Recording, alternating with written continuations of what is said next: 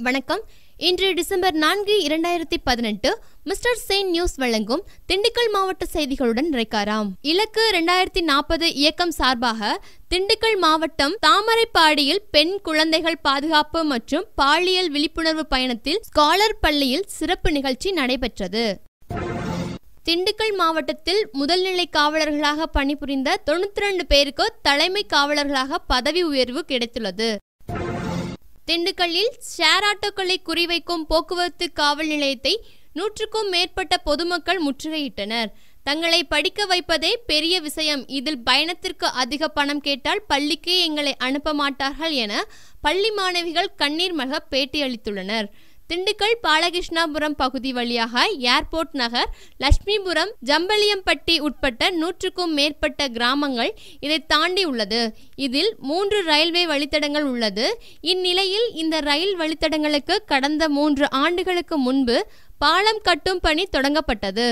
இதில் ரயில்வே துறையினர் பாலத்தை முடித்துவிட்ட நிலையில் மாவட்ட நிர்வாகம் பணியை செய்யாமல் கிடப்பில் போடப்பட்டுள்ளது. இதன் காரணமாக அந்த வழித்தடத்தில் சென்று கொண்டிருந்த பேருந்துகள் மற்றும் மினி பேருந்துகள் இந்த வழித்தடத்தில் செல்வதை நிறுத்திவிட்டனர். இதன் காரணமாக அந்த பகுதி மக்கள் இருசக்கர வாகனம் மற்றும் சேர் ஆட்டோக்கள் மூலம் மட்டுமே வரவேண்டிய சூழ்நிலை ஏற்பட்டுள்ளது.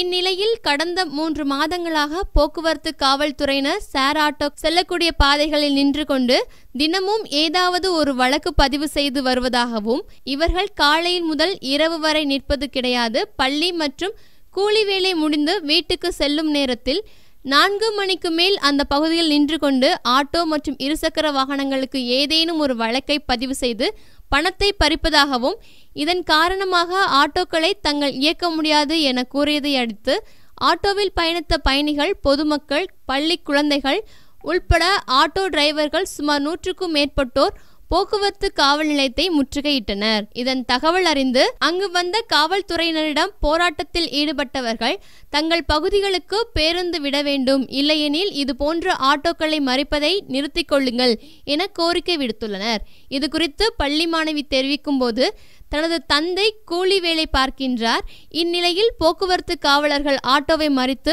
அபராதம் விதிப்பதால் ஆட்டோ ஓட்டுநர்கள் தங்களிடம் இருபது ரூபாய் கேட்பதாகவும் ஒரு நாளைக்கு நாற்பது ரூபாய் போக்குவரத்திற்கே செலவாகும். எங்கள் வீட்டில் தங்களை படிக்க வைப்பதே பெரிய விஷயம். தற்போது அதுபோல் பணம் கேட்டால் பள்ளிக்கே எங்களை அனுப்ப மாட்டார்கள் என கண்ணீர் மல்க பள்ளி மாணவி கூறியுள்ளார். இத்துடன் திண்டுக்கல் மாவட்ட செய்திகள் நிறைவடைந்தது. மேலும் செய்திகளை உடனுக்குடன் அறிந்து கொள்ள எங்களது W W W dot MRCHE news dot com என்ற இணையதளத்தை பார்க்கவும்.